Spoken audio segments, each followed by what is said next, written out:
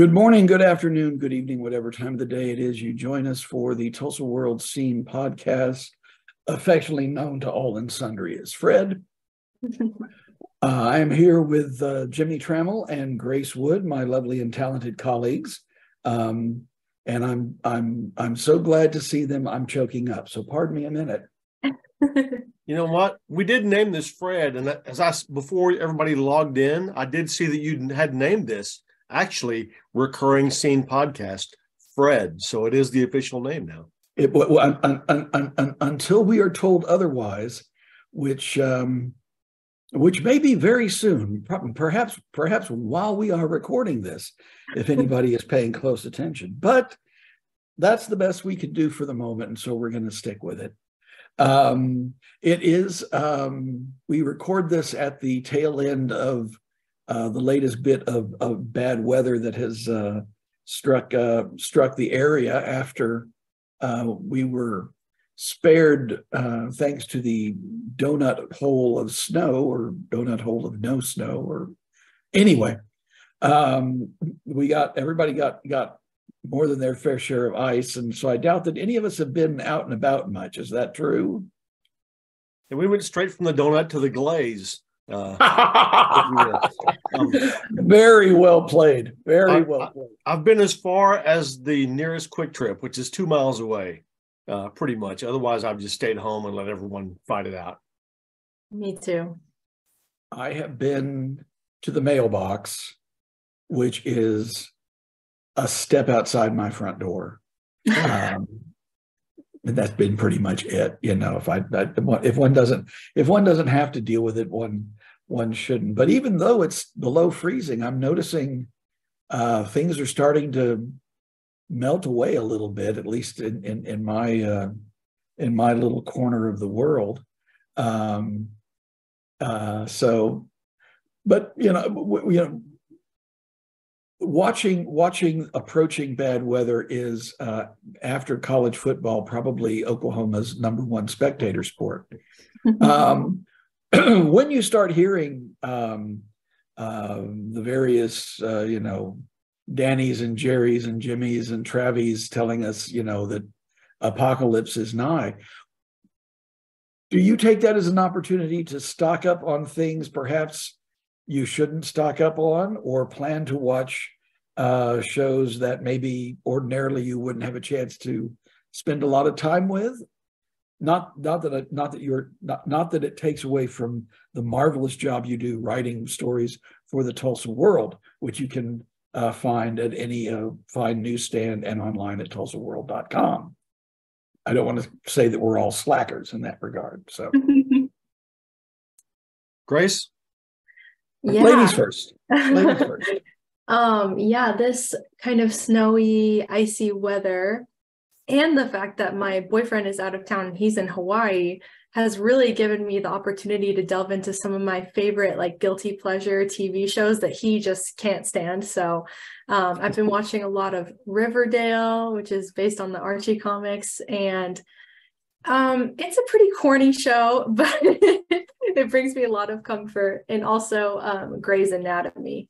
I mean, I think they're on like their 18th season now, but it's one of those shows you can just put on and you don't really even have to pay attention to it. You can just kind of witness it and it's fine. So that's wow.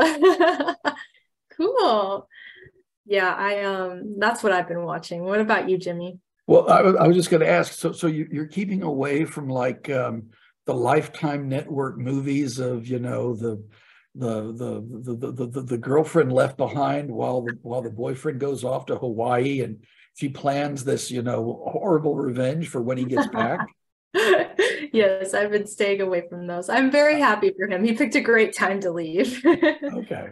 Well, he, he could have picked a better time when he could have taken you with with him, but oh well. we won't we won't delve any more into your for your personal life. So I, I, don't have a lot of uh, heck of a lot of spare time because I've got a a giant uh, side project in addition to my real work. So I, but my couple hours a night that I can just kind of wind down, I just keep binging the same Rockford Files DVDs over and over and over. This may be my third time or fourth time just watching the Rockford Files from start to finish, all six seasons. Uh, but I've just it's also on Get TV twice in a row at 7 and 8 p.m. weeknights. And so I've discovered I like the randomness of what are they going to show me tonight as opposed to picking a DVD and watching it in order. It just seems it's like a song on the radio. If, if you're playing a cassette or that's a long time ago or a CD, it feels like you're not getting any surprises. But if you just listen to the radio, you get surprised once in a while. That that that that serendipitous sort of thing. Yeah, I I I there have been relatively few shows that I have made it a point to see from beginning to end. Um, one of them is uh, Barney Miller. Hmm. Um, there's a, a, a, network on one of the satellite, I think it's called FETV, Family Entertainment TV, and they would do uh, two episodes at like 11 and 11:30 at night, and I realized they were doing them in sequence, and so I just set up the tape to tape them and and and would would plow through through all of them. I did the same with um, the old Perry Mason shows with Raymond Burr. The thing about that is, that was back when they were doing 20 to 24 shows a season rather than the 13 or 6 or whatever, you know.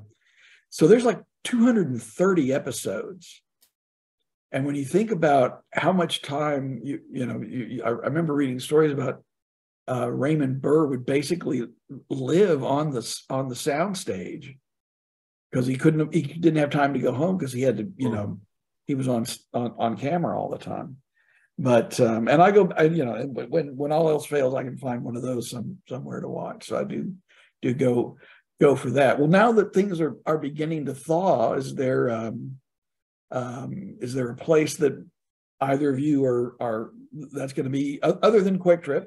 that's going to be your your your your first place to go to say I am fr- I am free from ice and snow and I'm going to live my life the way I should.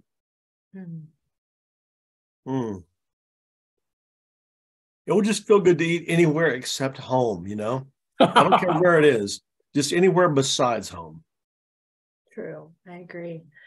Um, my mind immediately went to like activities And okay. I really want to go to Purple Glaze once the weather clears up and everything's fine. I, as you can see, I have a lot of plants behind me. So I really want to make like a ceramic bowl to put some of my plants in because yeah, they're in pots right now, but they're kind of boring. So I was thinking it would be fun to like go make something. So I think I'll do that.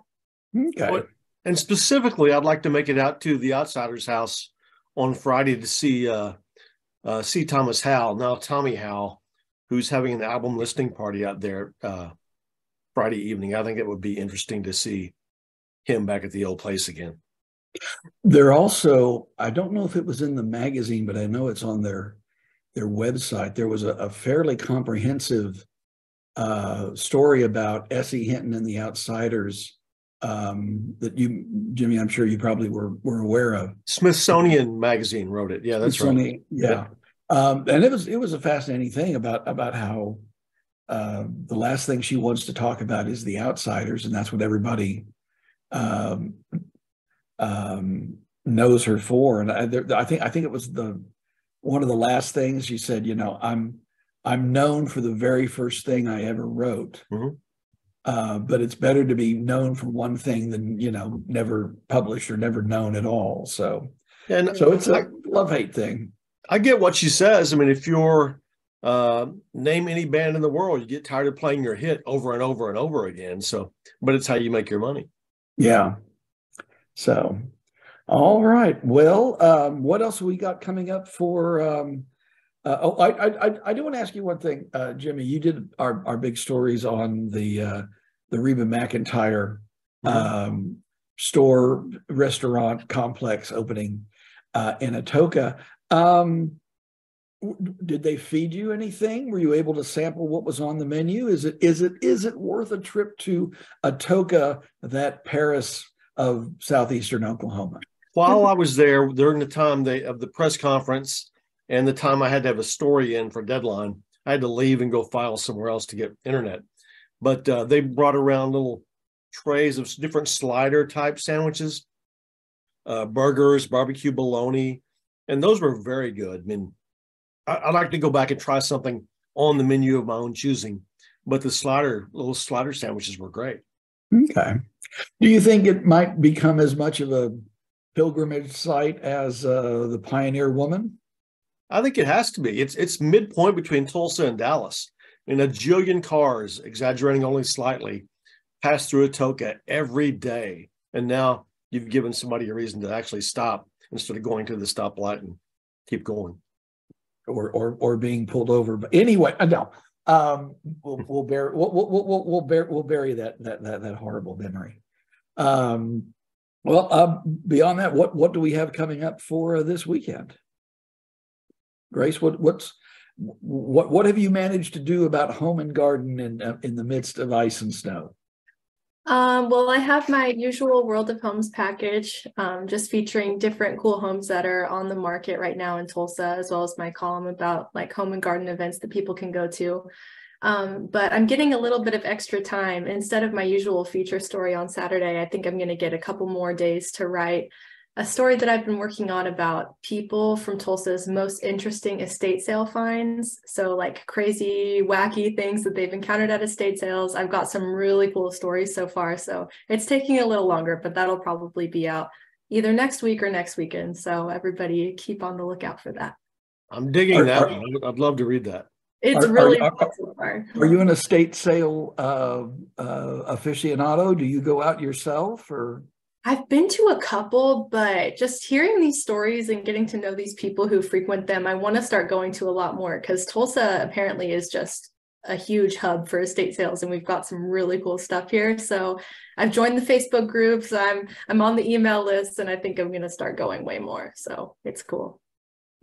I I I I I I, I have an odd relationship with with garage sale estate sales and, and, and the like. I, I, I while I, I, I know that they have they have a purpose to me personally, I feel a bit vulturish, mm-hmm. uh, you know, and uh, um, but but I you know that that that's just that's just a personal thing. I don't I don't believe that people that other people feel that way or are that way, but that's just kind of the way I feel. It's just a little a little creepy in a, in, in a, in a way to, to, to, to do that. But um, yeah. I've, I, I, I've, I'll just put this, I've donated to a lot of, of, of sales. So there are people out there with some of my old stuff somewhere that I don't want to have to think about either. So anyway, uh, Jimmie, what's coming up for you?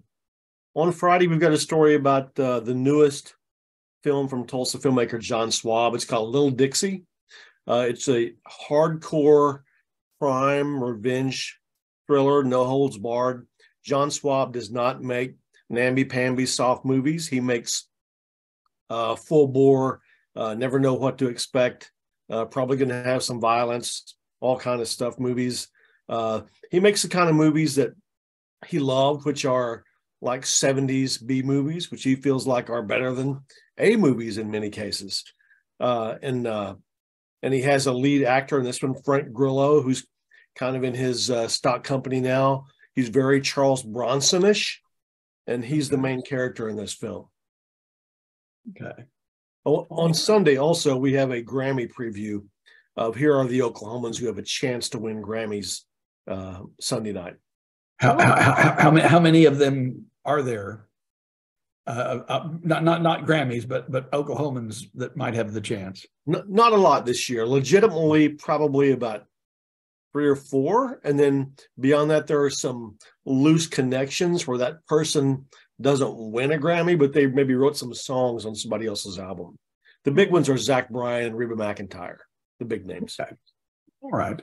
Well, um, I earlier made some comment about my own little corner of the world, which kind of ties in with what uh, I've got coming for Sunday. Tulsa Ballet has is creating their own version of the ballet Cinderella uh, with the Prokofiev score by and with uh, Andrew McNicol uh, choreographing.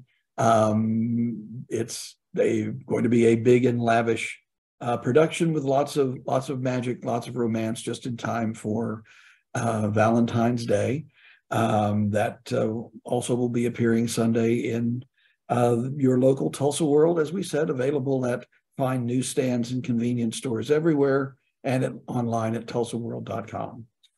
Uh, well, that will probably do it for this week, unless we can think of something else to say. And probably we don't want to. So we'll just say thank you all for putting up with us, and we'll gladly see you later. See you, Fred. Bye.